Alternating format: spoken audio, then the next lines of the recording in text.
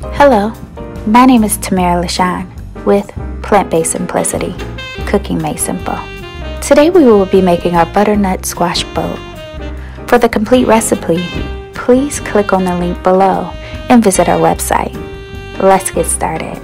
You first want to cut your butternut squash in half vertically and scoop out all of the seeds. Take a little olive oil and lightly massage it into the squash. Follow up with seasoning it with a little salt and pepper. Place on a non-stick baking sheet and place in the preheated oven for 45 to 50 minutes. Once finished, let it cool. While the butternut squash is in the oven, let's make our quinoa. In a medium-sized saucepan, bring your vegetable broth to boil. Once boiling, place in your 3 4 cup of quinoa and give it a stir. Once it starts to boil again, reduce your heat and let it simmer, covered. Now, let's take our orange, grater, and zest our orange. If you are short on time, you can purchase orange zest from most grocery stores. Cut your orange in half and juice it. You'll need around 1 tablespoon. If you choose, you can use orange juice, but my opinion, it's nothing like fresh squeezed orange juice. Up next, take your freshly washed clean kale and dice it up. Make sure to remove any stems. In a large skillet, place the rest of your olive oil and heat. Once heated, add your kale and cook until slightly wilted. Add your minced garlic. Then you want to add in your drained and rinsed can of chickpeas.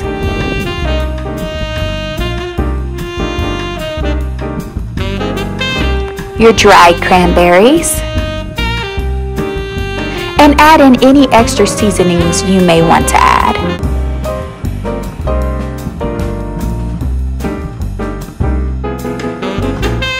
Now add in your orange zest. You can leave a little to add to the top of your dish if you choose. And add in your fresh squeezed orange juice and give it a toss.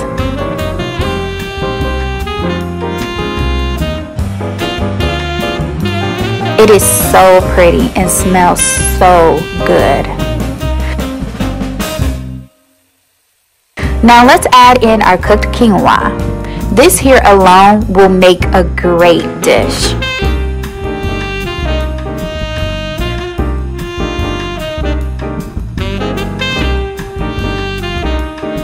Once the butternut squash is cool enough to handle, let's take an ice cream scooper or any spoon and begin to scoop out some of the flesh, making sure not to scoop out all of the flesh, but just enough to create room for our quinoa filling mixture.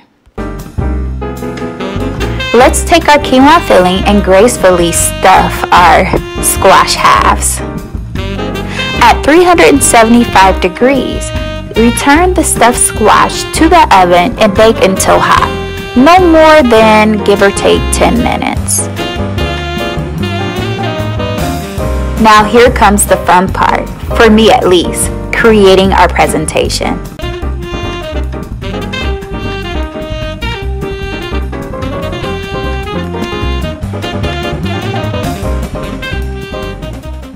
Well, this is it. I hope you enjoyed this video and most definitely enjoyed the meal. Please comment, like, share, and please visit our website for more plant-based simplicity recipes. Thank you for watching, and remember, seasoning is everything.